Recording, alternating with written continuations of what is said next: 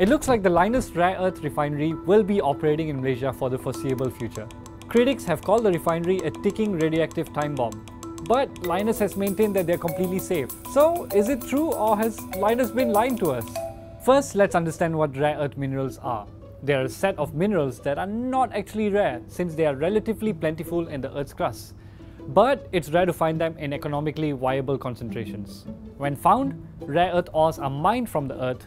Then, rare earth minerals are extracted from the ore through various chemical processes this is done in a refinery. There are 17 different rare earth minerals, 15 elements from the lanthanide block, along with scandium and yttrium. Rare earth minerals are used in a lot of modern day electronics, from airplanes, wind turbines, batteries, and computer chips. Modern technology as we know today simply cannot exist without rare earth minerals. Currently, China is the largest exporter of rare earth minerals, holding up to 95% of the market share. Enter Lynas. Lynas mines its ore in Mount Weld, deep in the outback of Australia, and refines it in Gebeng, Pahang. The refinery is known as the Lynas Advanced Material Plant and it is the largest refinery outside China and also the cause of a lot of anger here in Malaysia. The main reason for this? The chemical processes used to extract rare earths produce waste, some of which is radioactive. The word radioactive immediately conjures images of Chernobyl and Fukushima. But these are nuclear power plants, unlike Lynas, which is a chemical refinery. That's not to say that these concerns are not valid. We just have to take a peek into our backyard to see how badly radioactive waste can impact a community. Asian Rare Earth Sendirian Berhad, a rare earth mineral refinery, started operations in Perak in the early 80s and ended in disaster. Villages nearby complained about breathing difficulties because of the airborne pollutants and at least 8 cases of leukemia were confirmed to be linked to the refinery. Following major protests and multiple court cases, it was finally shut down in the early 90s. But cleaning up the radioactive waste took over 20 years. The radioactive waste now lies in an undisclosed disposal facility somewhere in Perak. Now, rare earth minerals themselves are not radioactive, but when mined, they are usually found with radioactive elements like thorium.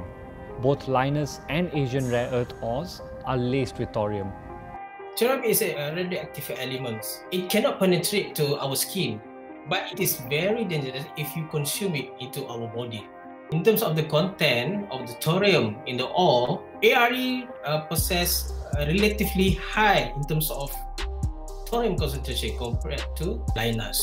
So, not all radioactive waste is made equal. But since the waste produced is still radioactive, let's take a look at that. There are three types of waste produced by the Lynas refinery water leach purification residue, WLP, neutralization underflow waste, NUF, and flue gas desulfurization, FGD. Both NUF and FGD have been categorized as scheduled waste, which is toxic waste that is allowed as long as its disposal complies with regulations.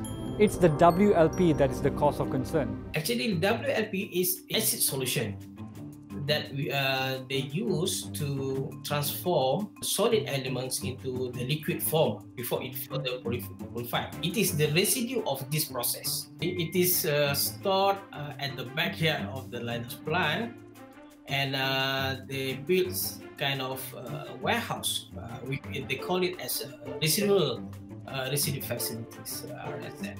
It is it got a roof, but it is open without wall, warehouse without wall. Maybe we should have done thorough assessments of Lynas's plans before it even came to Malaysia.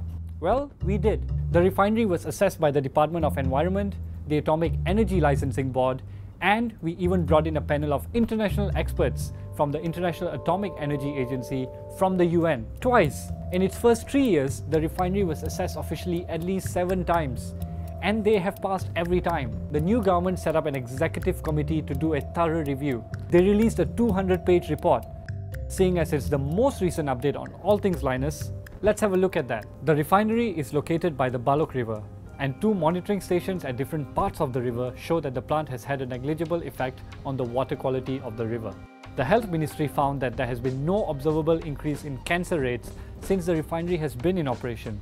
They also confirmed that based on AELB's data, the radiation levels are too low to cause an impact on nearby residents. The IAEA mentions that a safe radiation level for the general public is 1 millisievert per year, which is a unit to measure the absorption of radiation by the human body.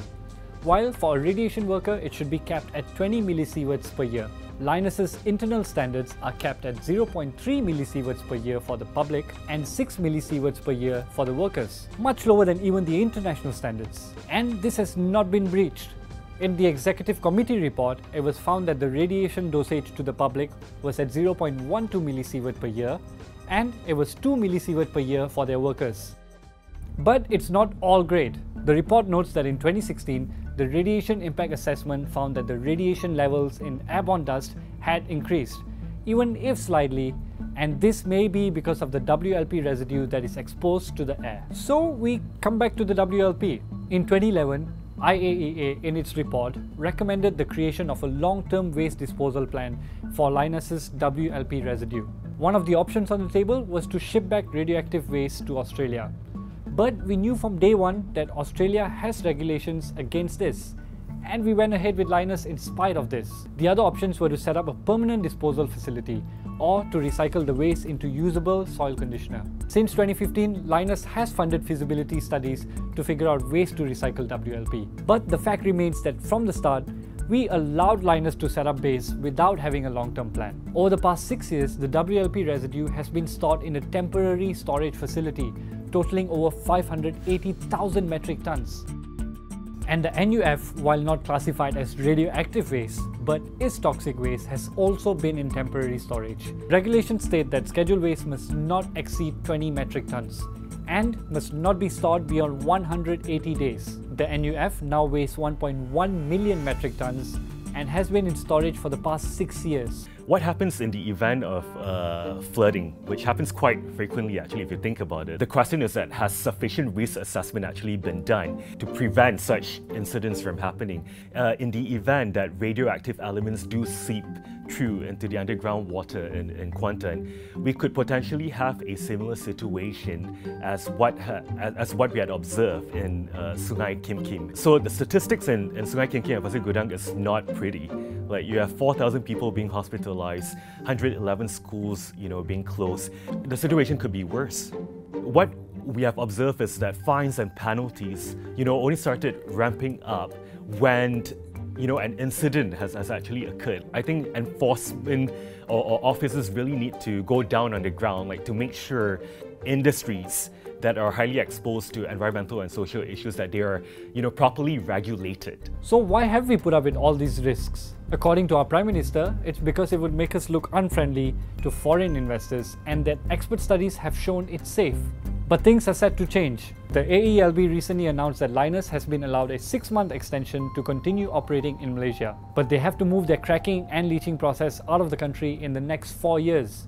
This is the process where WLP is produced. This means that it won't be long before Lynas is no longer producing radioactive waste in Malaysia. They also have to put forward a proper plan for a permanent disposal facility for the existing waste. 11 years after Lynas first came into the picture, we might be finally striking the right balance between benefiting from being part of the crucial rare earths industry and keeping our people safe from toxic and radioactive waste. But why stop at Lynas?